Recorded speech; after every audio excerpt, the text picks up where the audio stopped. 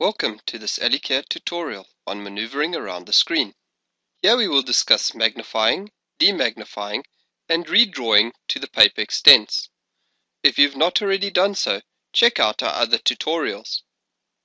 You can use the mouse wheel to magnify and demagnify around the cursor position by simply scrolling the wheel forward to zoom in and backwards to zoom out. This can be changed by selecting Settings, System Settings, and checking the Reverse Mouse Wheel Scroll option. This will now magnify when you roll the wheel backwards and demagnify when you roll the wheel forwards.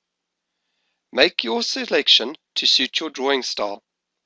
Position the cursor and roll the wheel to magnify or demagnify as required. An alternative option would be to use the keyboard.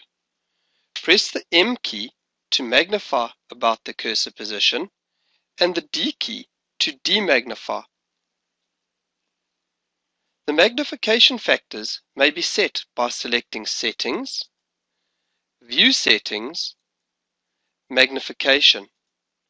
Here you can set the magnification factor and the wheel magnification factor as required.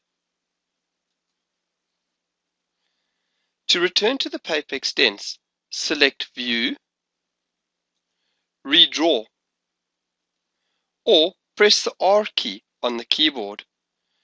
AllyCAD will redraw the drawing to show the paper border.